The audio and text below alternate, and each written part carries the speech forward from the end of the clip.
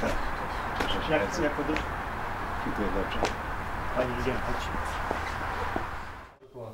A jak się czułeś po, po, tej, e, po tej naszej No powiem tak, gdyby nie wy, to w zasadzie zebrali mi dokumenty, wszystkie co chcieli, bo przyjechali przecież e, inspektorzy, e, w sile pięciu osób.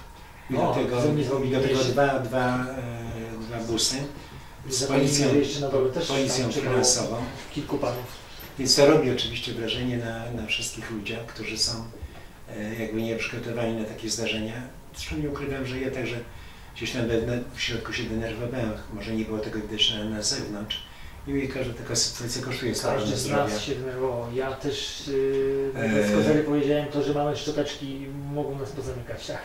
I myślę, że to jest taki przykład, że dzięki Stowarzyszeniu Niepokalani, dzięki Tobie Michał, ale też dzięki temu, że, że przede wszystkim zabrali ze sobą e, e, kamerzysta, który filmował całe to zdarzenie, e, mimo wyraźnej dyspozycji dyrektora Maruszewskiego, który nakazał siłą zabierać dokumenty, wycofali się z firmy i mogliśmy się spotkać za parę dni spokojnie usiąść, porozmawiać o tym, co, jak ma wyglądać przekazanie dokumentów.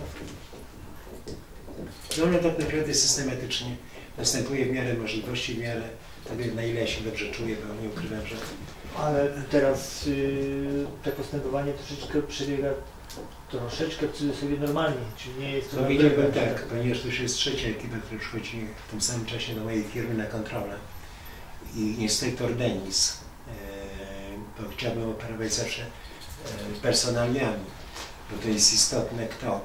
E, w przeciwieństwie do poprzednich ekip, gdzie w pierwszym przypadku miałem do czynienia z przestępcami, ale kryminalnymi, z inspektorem Pawlakiem, który jest po prostu przyjął łapówki od złodziei, e, od przestępców i chroni tych przestępców, e, wiedząc o tym, że jest bezkarny. Zresztą tych dowodów na popełnienia przestępstwa przez tego człowieka jest wiele. Jeśli chodzi o następnych inspektorów Surmę i panią Małgorzatę Makowską, oni wszyscy chcą być anonimowi. E, Pani Makowska e, pochodzi z Biłgoraja. Była urzędnikiem, notabene była urzędnikiem bankowym.